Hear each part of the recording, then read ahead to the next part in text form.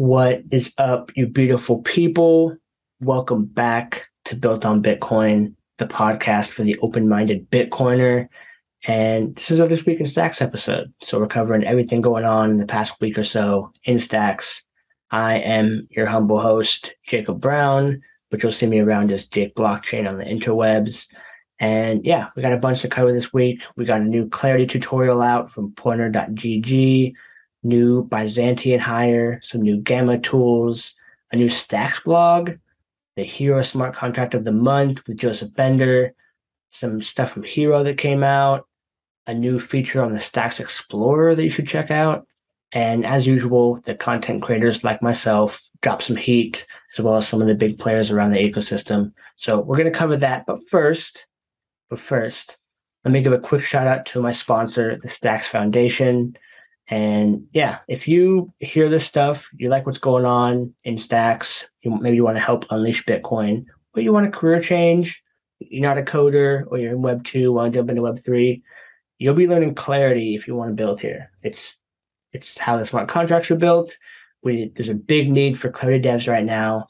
So if you want to make the jump and get started and uh, get your hands dirty doing some dev stuff, start.stacks.org is a great first resource. They, they point you in a one, two, three, four, five step fashion so you can kind of pick your level of advancement and uh, you know, learn the basics, maybe join Clarity Camp and learn with a cohort or apply for a grant and get some funding to build something.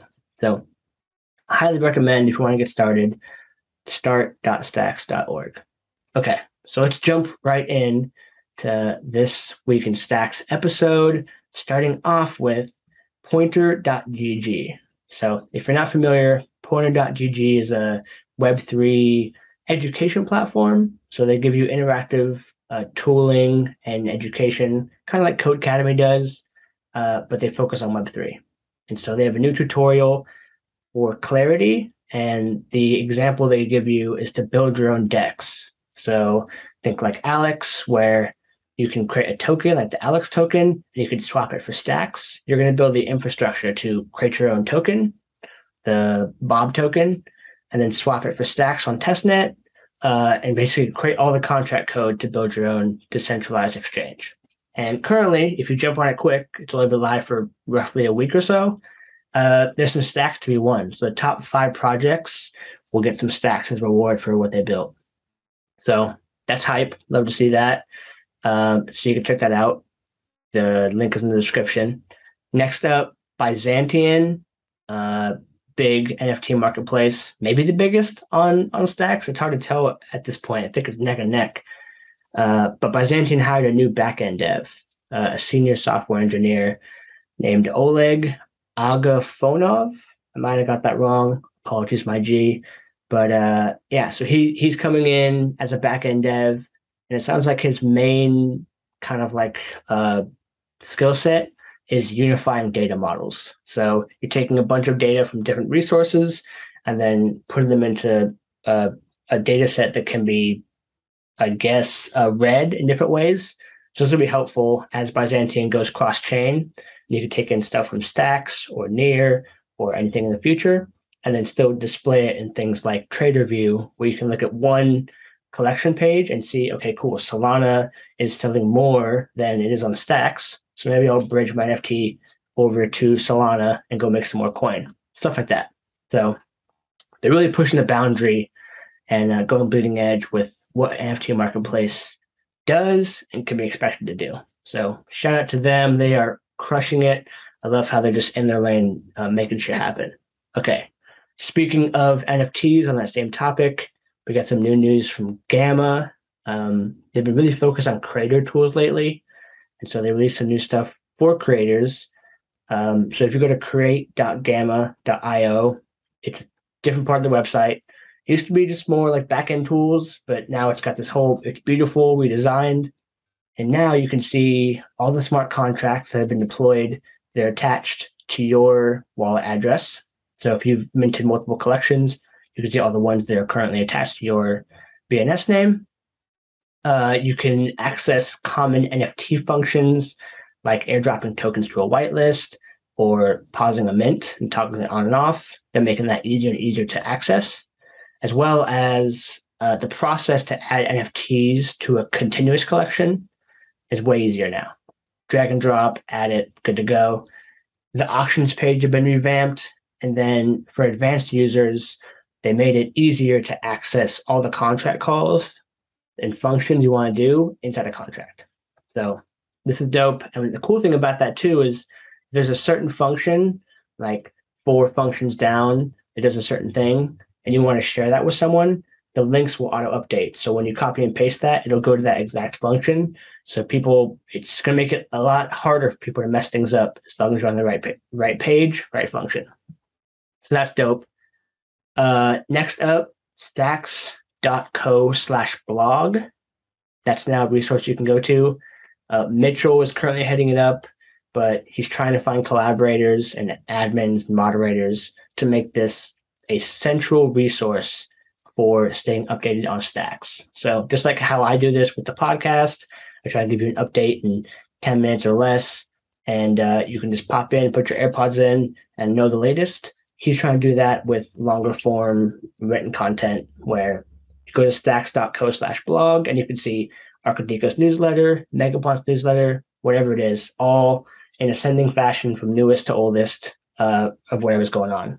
So if you write content or maybe you want to participate and moderate, uh, hit up Mitchell. He's he's looking for people. But also if you want to stay updated and you don't like the sound of my voice, you can go to stacks.co slash blog and uh, see it all there now too. All right, so we got some news from directly from Hiro. They're doing a good content push lately, which is dope to see. And they have a smart contract of the month they've been doing. So last month it was the U2 Songs of Innocence contract that can't leave your wallet. And uh, now it is the Send Many Memo contract. So this contract is basically how you send stacks or some token to a bunch of people in one transaction. So instead of sending, you know, 10 transactions to 10 people, I can just put all the wallet addresses in one uh, transaction, submit it, and everyone will get whatever I say in that contract. So super useful. Uh, and he breaks down the functions involved, which is there's only four functions in that, and how it works. All right. On that same note, Hiro dropped something called stacks.js starters, which allows you to uh, take some, it gives you basically boilerplate code, is my understanding, to connect your uh, Stacks app to a front end as easy as possible. So they give you the basic codes to connect to a React app or a Vue app or something else. So basically, for those that aren't too devy, and I'll do my best here, but basically you have a bunch of backend code that is like the logic of how something runs, and then you connect it to a front end, which is the graphical things that you'll interact with. And so people have expertise in front end or back end, and then smart contracts is kind of this middle layer.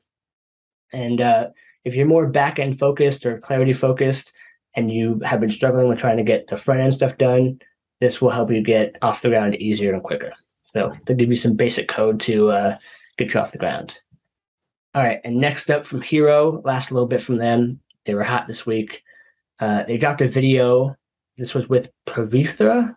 Sorry if I get her name wrong, but she is a distributed systems engineer at Hiro, and they put out a video showing how an NFT asset, an NFT token, will interact with a hyperchain smart contract.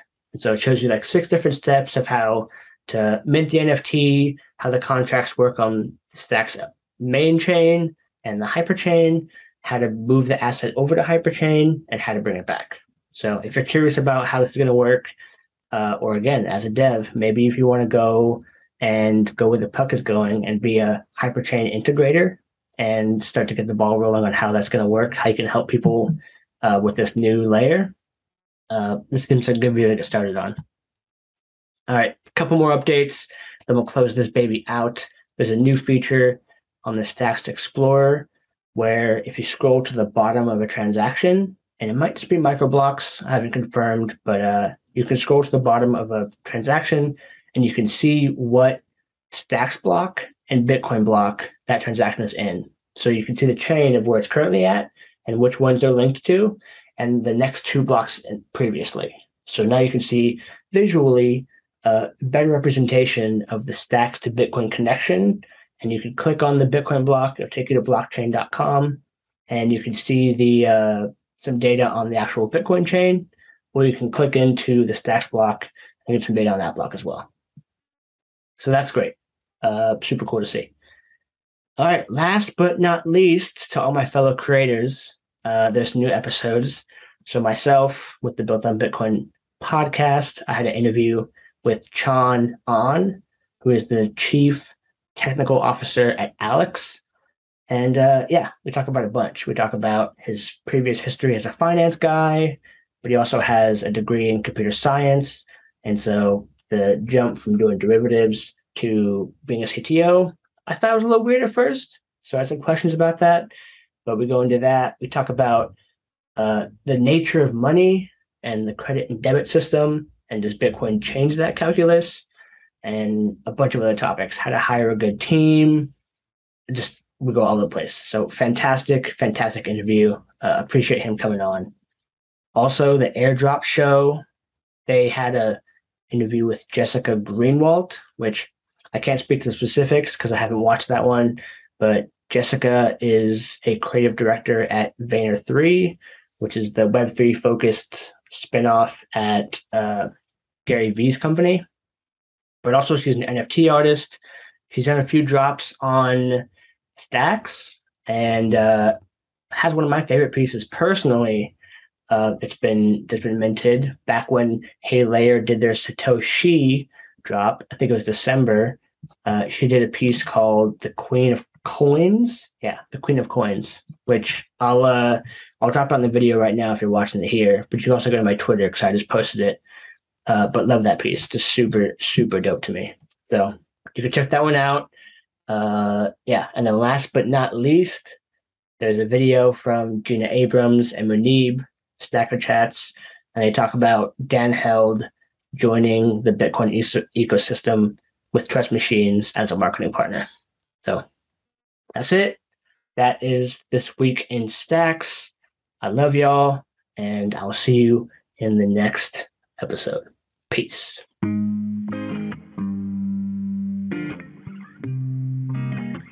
Welcome to Built on Bitcoin. I know that things don't always go your way, but I'll be right here waiting. I've been waiting now. I've been trying to figure out a way to make it out, make it out, cause I don't think about everything.